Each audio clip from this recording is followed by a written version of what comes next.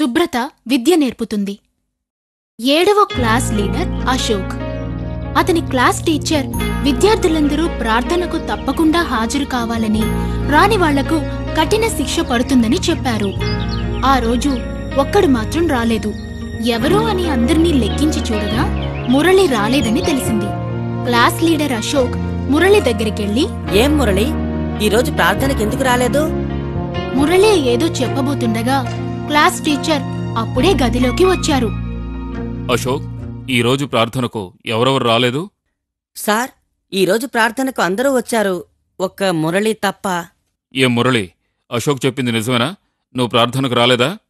అవును సార్ నిజమే. ఈ రోజు నేను ప్రార్థనకు రాలేకపోయాను. టీచర్ ఏమంటారో విందామని విద్యార్థులందరూ నిశ్శబ్దంగా ఉండిపోయారు. టీచర్ని చూసి అందరూ ఈరోజు ఖచ్చితంగా మురళికి శిక్ష పడుతుందని అనుకుని వాళ్ళలో వాళ్ళు ఒకరినొకరు చూసుకుని నవ్వుకున్నారు. ఎందుకంటే వాళ్ళకు మురళి అంటే అంత పడదు. మురళి చదువులో కూడా ముందే ఉంటాడు. అతని చేతివ్రాత ముత్యాల్లా ఉంటుంది. టీచర్లిచ్చే హోంవర్క్ అంతా అక్కడికక్కడే వెంటనే చేసేస్తూ ఉంటాడు. అందుకని మిగతా విద్యార్థులందరికీ అతనంటే ఒక రకమైన అసూయ ఆగ్రహం కూడా. ఇలా చూడు మురళి తప్పు ఎవరు చేసినా అందుకు తగ్గ శిక్ష పడుతుంది. కానీ అంతకంటే ముందు ప్రార్థనకు నువ్వు ఎందుకు రాలేదో తెలుసుకోవచ్చా? సార్ ఎప్పట్లాగే నేను ప్రార్థన మొదలవటానికి ముందే క్లాసుకు వచ్చేశాను. అయితే అప్పటికే క్లాసులోని వాళ్ళంతా బయలుదేరి వెళ్ళిపోయారు. అప్పుడే నేను గదిని చూశాను.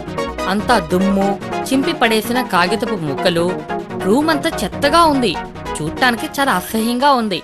అదీ కాక ఈరోజు క్లాసును శుభ్రం చేయవలసిన స్టూడెంట్స్ కూడా చేయకుండానే ప్రార్థనకు వెళ్ళిపోయారనిపించింది. సరే నేనైనా అందరూ వచ్చే లోపల క్లాస్ అంతా శుభ్రం చేద్దామని అంతా క్లీన్ చేశాను.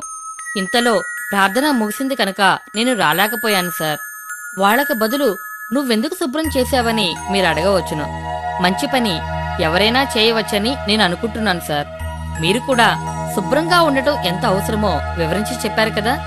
అశుభ్రంగా ఉన్న చోట కూర్చొని చదివితే చదువు ఎలా అబ్బుతుంది సార్? అందుకనే ఈ పని చేశాను. నేను చేసింది తప్పైతే మీరు ఏ శిక్ష విధించినా అనుభవించడానికి నేను రెడీ సార్. చాలా మంచి పని చేశావు. మురళి నీలా ప్రతి ఒక్కరూ ఆలోచించగలిగితే ఖచ్చితంగా మన స్కూల్ ఎంతో శుభ్రంగా ఉంటుంది. నువ్వు నా విద్యార్థి అయినందుకు నాకు ఎంతో సంతోషంగా ఉంది. నీకు ఏ శిక్ష లేదు. టీచర్ మురళిని గర్వంగా చూశారు. చూసారా? మురళి ఎంత బాధ్యతగా ప్రవర్తించాడో? అంటూ అందరివైపు దీర్ఘంగా చూశారు. నీతి మంచి ఉద్దేశంతో చేసే ఏ పనైనా అభినందించబడుతుంది.